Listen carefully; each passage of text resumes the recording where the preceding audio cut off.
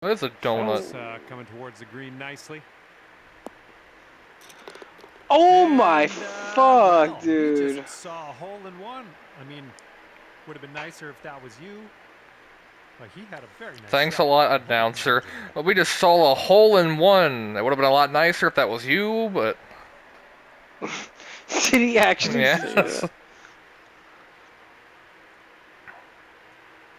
I'm just gonna send it straight to God.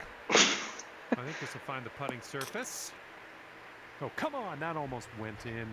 Why can't they just give these to you sometimes? You know what? I'm going to talk to people. I know people that program games like this. well, was that a fucking rare voice line or something? Looks like this one